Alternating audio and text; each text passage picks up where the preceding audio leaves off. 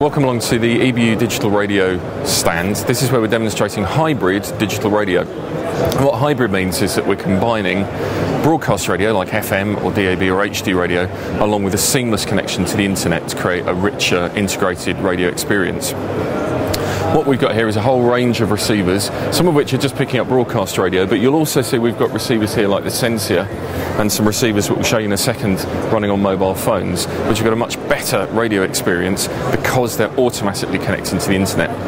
The way they're getting that connection to the internet is through a project called Radio DNS. And what Radio DNS does is provide that important lookup between a radio station that's on the air and that radio station's presence on the internet. So let's have a look at what's happening on the phones.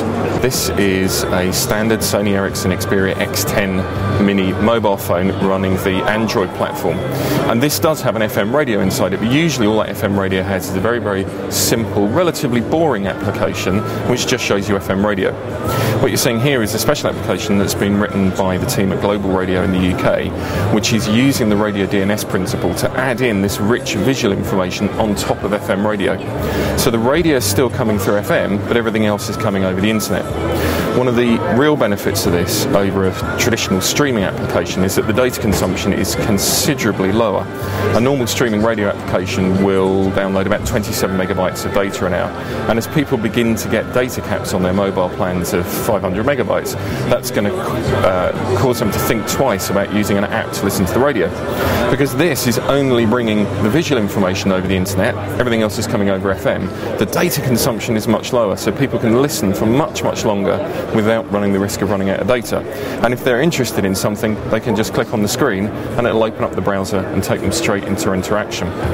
One of the other benefits of delivering this content over IP is you can measure it and you can begin to commercialize it in the same way that you commercialize other internet content.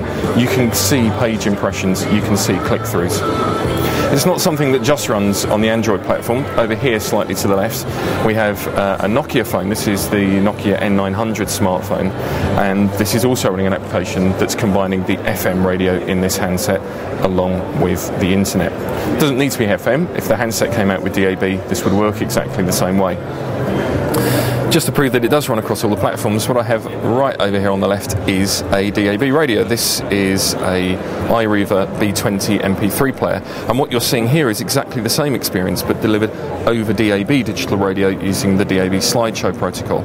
So, from a broadcaster point of view, you can create one set of content, you can publish it once, and it will work virtually the same either over DAB broadcast or if you use radio DNS to send it over IP. If we just pan back a bit to look at the full range of receivers that we've got here.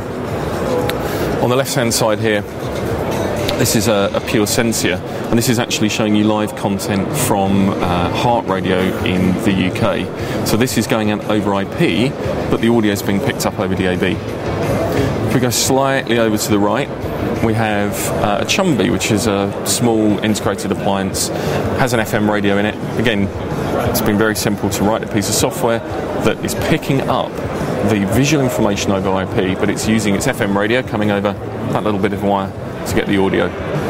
And then finally over here on the right, you'll see we've got another Sensia, which is showing our demonstration service here at the EBU. So this is the final bit of the chain that we're demonstrating, and this is a complete transmission platform. And the great thing about this transmission platform is in this one rack, for under 5,000 euro, we're generating an entire DAB digital radio multiplex and an FM radio station as well. It's all done in software. This is free and open source software that you can get from opendigitalradio.org. You can compile your own multiplexer, you can apply audio processing. In here is enough technology to create an entire multiplex with as many radio stations as you can fit into that 1.2 megabits a second. It's got an amplifier, it's got some filtering, and that's all going out to a small antenna that we've got on top of the booth. But it demonstrates that really there isn't a cost issue with creating digital radio. It's possible to create a platform from publishing through playout and transmission here and out onto devices like that very, very cost effectively.